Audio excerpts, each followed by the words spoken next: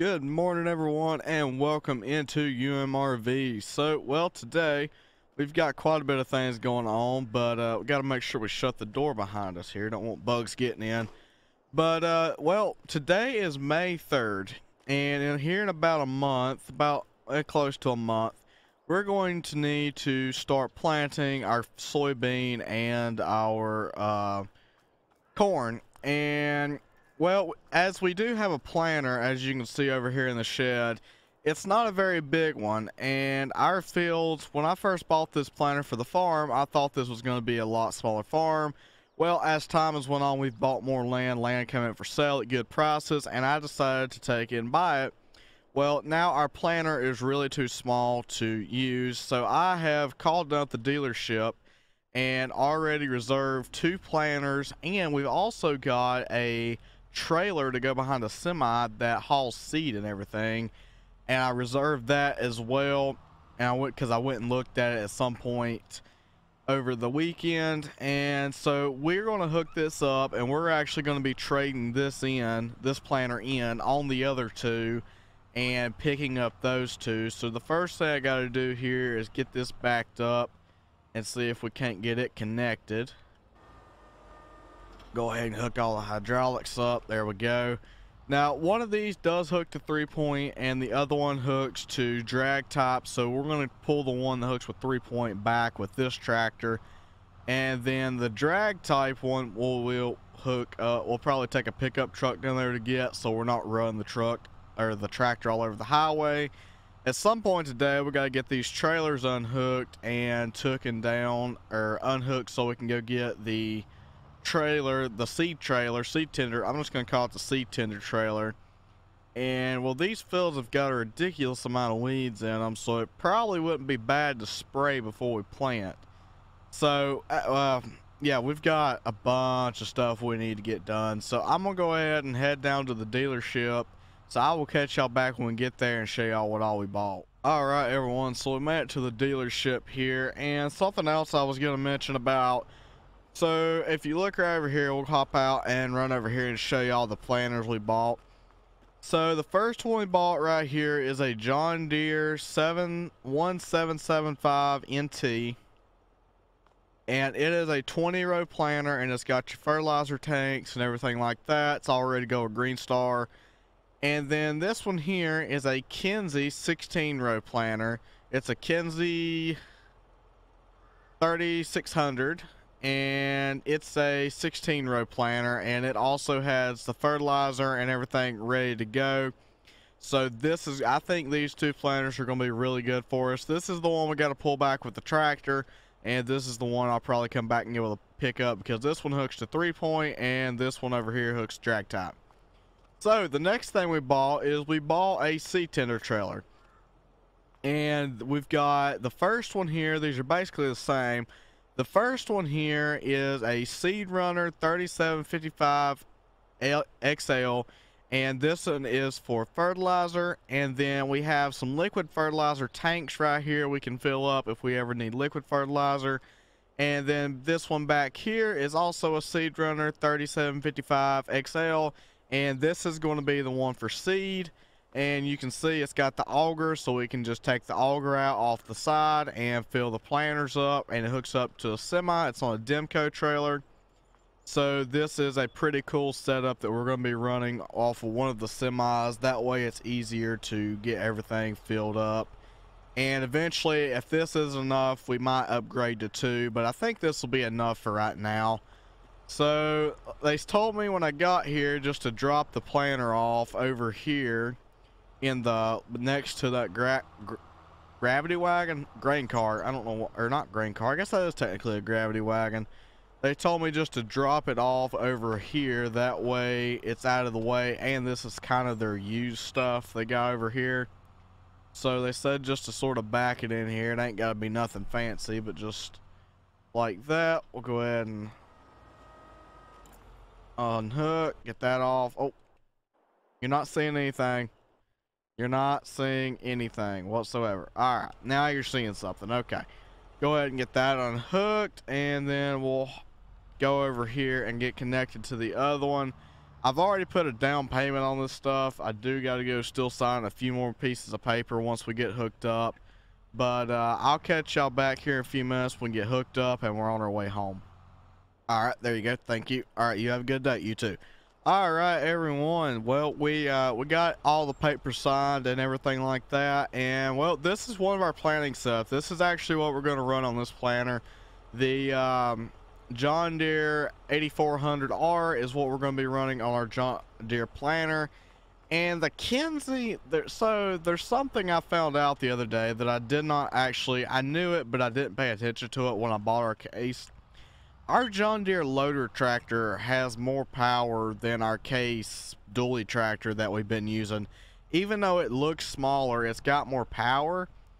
And I'm thinking about getting a set of duals for the uh, our uh, John Deere loader tractor and put just putting duals on it and running a planter on it because it actually has more power about about 100 horsepower and because it's like a 300 horsepower 340 horsepower tractor and the case is only like a 280 and so I knew it but I just didn't pay attention to it when I bought it so that's something we're gonna I think be looking into here pretty soon but we're gonna go ahead and get them home so I'll catch y'all back whenever we get there all right, everyone. So we made it home, and I know earlier I was calling this a 20 row. I don't know why I was calling this a 20 row.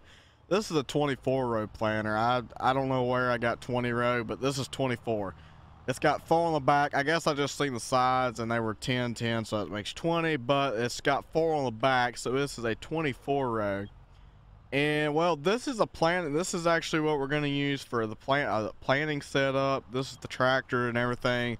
So we're actually just going to leave this hooked up. I'm going to see if I can back it in the barn here. That way if we get any rain between now and when we're able to plant, we won't the planter won't get wet. If the tractor gets a little bit wet, it'll be okay. But you don't want your planter to get wet because it can mess stuff up. So I'm to go ahead and get everything backed in here. So I'll catch y'all back here in a little bit when I get some more of this stuff done. Alright everyone, so I got that back in the barn here. And we're going to go ahead and just get these semi trailers unhooked. That should be good right there. Go ahead and pull the pin, get out, reel it up. There we go. And we'll go ahead and this semi truck is going to go in the shed. And I think we're going to use the other semi truck, the International, to pull the seed tender trailer because we use this truck to haul the grain and that truck needs to get some uh, needs to get run some too. And I know it will but I think we're going to use it to run on that. So we're going to park this in here. I do have this in here. That way it can go ahead and get looked over and greased before we hook it up so I think the next thing we're going to do is run up here and get my other Ram truck and drive it down to the dealership and see if we can't pick up that Kinze planter and also, I think I have found me a set of duals online. I've been looking online, and I think I found somebody who's got a set for my tractor that's that's actually in really good condition. So I think we're going to be looking into that as well because we really need to run that tractor because it's it's the next up most horsepower tractor. So that's something we're going to be looking into pretty hard here. But I'm going to go ahead and head down to the dealership and pick up that planter. So I'll catch y'all back when we're on our way back with it. All right, everyone. So I got it hooked up and we're headed home. So I will catch y'all back whenever we get there. All right, everyone. So we made it back. I just got the planter unhooked. We're going to go ahead and park the Ram back in the garage here. Because this is our nice truck we got. We still got our farm truck that's out there, but this is the nice truck we got. So we're uh, keeping it in the garage so it'll stay nice. But anyway, we're going to run down here. And like I said, I think I have found some duals for my tractor here. Because this, I can't believe it when I actually went looking at horsepowers. But this tractor right here has more horsepower. And you wouldn't know by looking at it. But this tractor right here actually has more horsepower than this case. This case looks so much bigger. But yeah, this tractor has like a 100 more horsepower than it. So I think we probably are going to pick up those set of duals. So I need to go ahead and pull the loader off of this thing. That way we can uh, put those on because I think I'm going to tell the guy I'm going to take them. So we're going to go ahead and drive it over here. And I guess we'll just take it off back here in the back somewhere. About right here should work. And we'll see if we can't drop it. We'll go ahead and unhook the hydraulics, everything. We'll go around to this side, pull all that hydraulic stuff off. There we go. So we got this tractor here, the loader disconnected off of it. So I'm gonna go ahead and see when when we can get those duals. So I'll catch y'all back here in a little bit when we've made some more progress in that area. All right, well everyone, so it's it's about two days later after we seen y'all last, and well, I told the guy I would take the duals. We went and picked them up the next day, and we just have got them put on today. We got the weights, we even got the extra weights to go on the outside, and we got the duals put on, everything like that. And the other thing we, we got was we took the bumper guard off, and we found some weights. We found some used weights, and as you, because as you can see, they're a little bit dirty. But we picked up a set of front weights for the tractor as well. We took the had to take the grill guard off, but we put a set of front weights on it.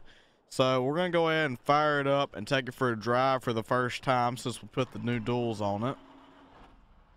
There we go. I imagine it's not to drive that much different. It's just a lot wider, so we're going to have to be careful of that. But I think we're just going to go ahead and put this on the planter as well because, well, it's uh, we need to have all this hooked up and ready to go. I do know I do know we got to run over the planter and make sure we got all the grease fittings and stuff greased and everything like that before we go to plant.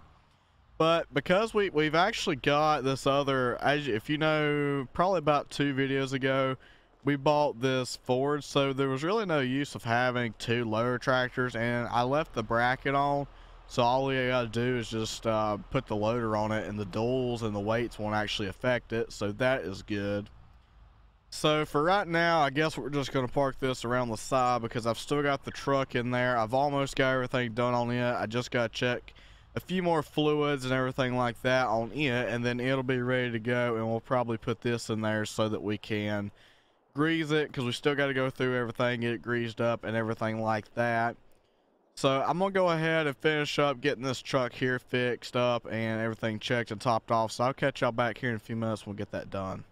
All right everyone so i got the oil changed all the grease fittings greased and i got everything topped off so we're going to go ahead and see if we can't back this thing on out of the shed here so that we can put the planter in here and we still got to go down and pick up our our seed tender trailer from down at the dealership as well so that's something we got to keep in mind we'll probably do that at some point today but for right now, I'm going to see if we can't go ahead and get this backed into the shed here. That way it's in there and just in case we get rain before I get to do anything else, we will have the planters in the shed. And I'm thinking this one, it may be just as long as the other one. It actually may be longer. I'm not 100% sure, but we're about to find out here. Turn sharp. There we go. Back straight on in. I'm going to be able to walk between them because I may do some work to them in the shed here. We need to pull up just a hair. Back up a little bit right there. So yeah, I think both the planters about just as long. And as you can see, I've got it absolutely as close as I can possibly get it. So I think we're gonna go ahead and hop in the the international here and run down and see if we can't pick up that seed tender trailer. So I'll catch y'all back here in a few minutes when we get down there. All right, everyone. So I made it here. We went ahead and I've got the trailer hooked up.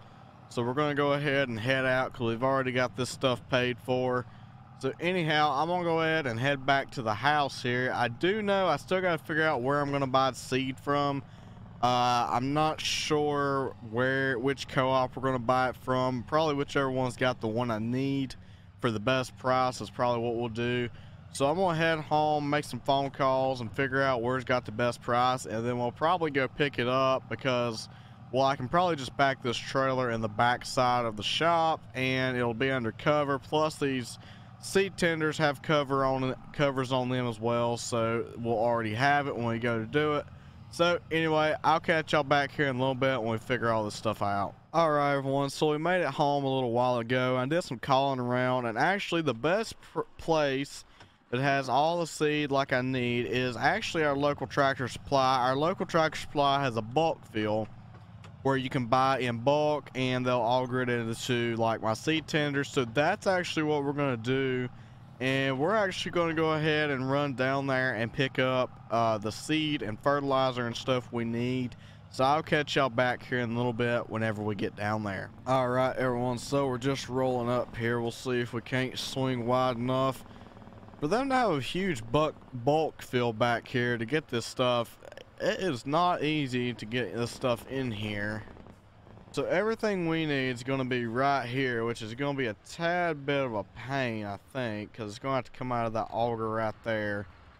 So we'll go ahead and we'll see if we can't hop in this thing right here. And do that. Start the engine up on it so we can undo that and we'll go ahead and start. And this one's is for fertilizer. We need solid fertilizer. So we're to go ahead and get that filled up just like that. And looks like each one of them is to be six thousand four hundred dollars which isn't necessarily too bad. So we're to go ahead and see if we can fill the other one because it didn't want to fill that one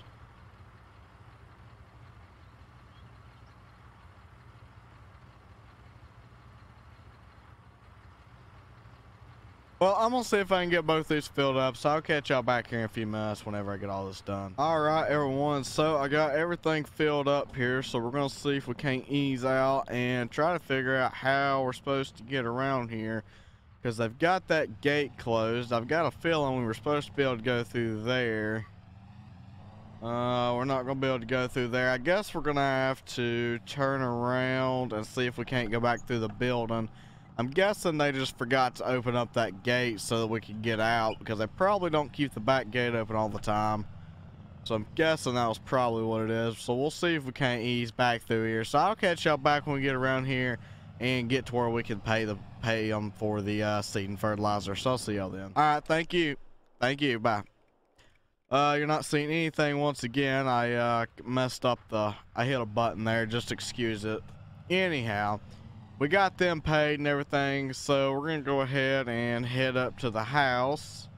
And this is probably to go where the back portion where I put the gray semi this is probably where this is to go for right now anyhow. So I'll catch y'all back when we get up there to the house. All right everyone so we made it home. We're gonna see. I'm not sure that's gonna fit now that I look at it more. And if it don't we'll just put it in that shed. But I thought and it's not gonna work. So it'll just go up here in this shed. I can already tell by looking at that these seed tenders are too tall for it to go in that shed. So we're just gonna pull it down here in this one. And actually I think we'll probably just leave the semi hooked up. I don't see no reason to unhook it because we're gonna need this here in a couple of days. So we'll just leave this right here. And that should work fine Alright, well we've got most of the stuff we need done, done. I still need to run through the planters and get everything greased and taken care of there. We've got the trailers unhooked. We got this tractor. We got the loader tractor converted to a planter tractor. We got both the planters hooked up and ready to go. So we should be ready to plant here in a couple of days. And yeah, everything seems to be looking pretty good. We got our new planters. All we got to do, once, like I said, all we got to do now is run through them and get everything greased and set up like that. Now, what I do think I'm going to do right quick is this tractor is a little bit in the way. And because we're not, we don't, we're not going to use it to plant, and we got that other tractor that was sitting here on a planter. This tractor, I think I'm just going to pull right here and it should be a little more out of the way so we can park stuff in here. So I think that's going to be about it. I got everything ready to go. We should be planning in the next video on here and yeah, that's I think that's going to be about it for this one. But thank you for watching. I hope y'all have a great rest of your day and bye for now.